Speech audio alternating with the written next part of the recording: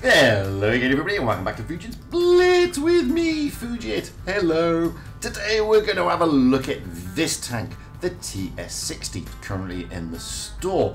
So what happens when a Chrysler K, that is a heavy tank, has a bit of a little fling with a TS5, that is a tier 8 TD? Well, you get this, the TS60, the new American tier 8 tank destroyer.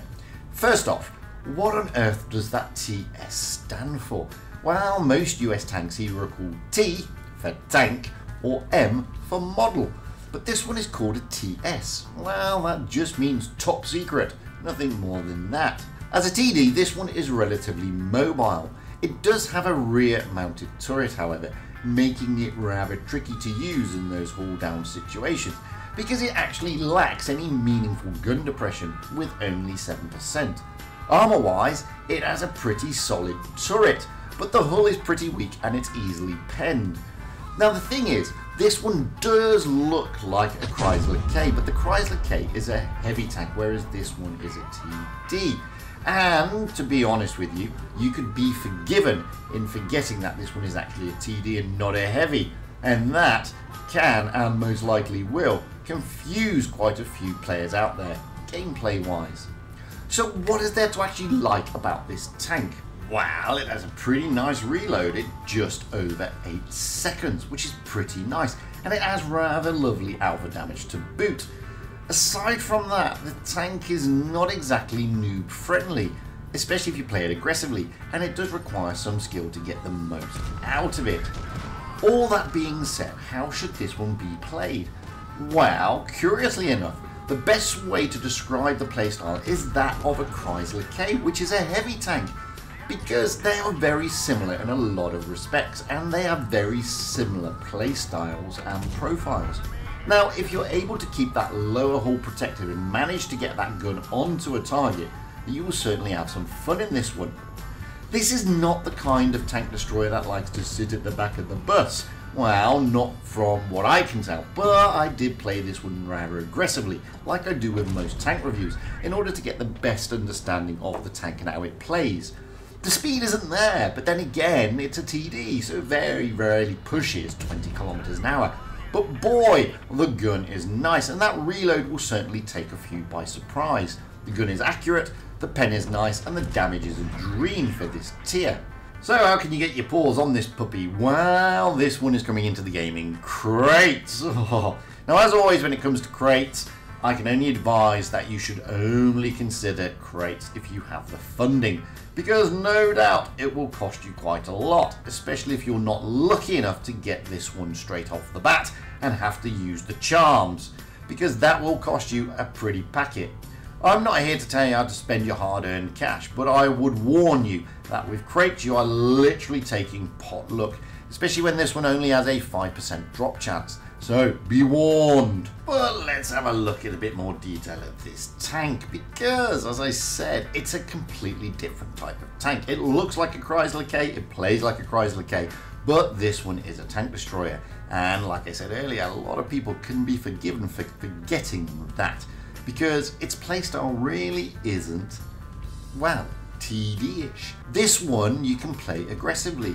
It's not a tank that really likes to sit at the back, like I said. It likes to be closer to that front line, sometimes even on that front line. Thing about this tank that you need to remember, however, is that gun, that turret, sorry, will not turn the full 360. It just won't do it because somebody's lumped a big bulldozer blade at the back and raised it up, as you can see there.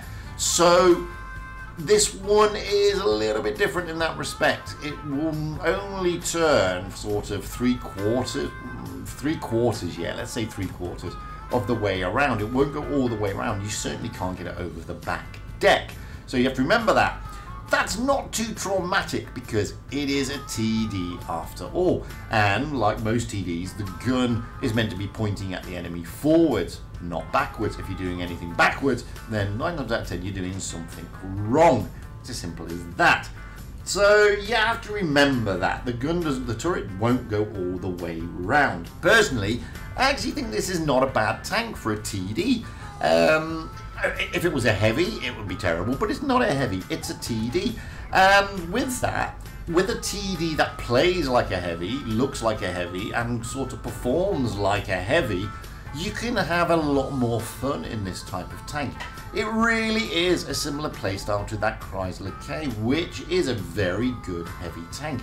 Admittedly, it doesn't have the same armor profile on its hull, but it has pretty decent armor on that turret. It has a pretty decent reload, as I said, just over 8 seconds in real terms, and it has pretty decent alpha damage. That's why I didn't take the shot on the uh, on the Steyr there, because there's no point, he's only down to next to no hit points.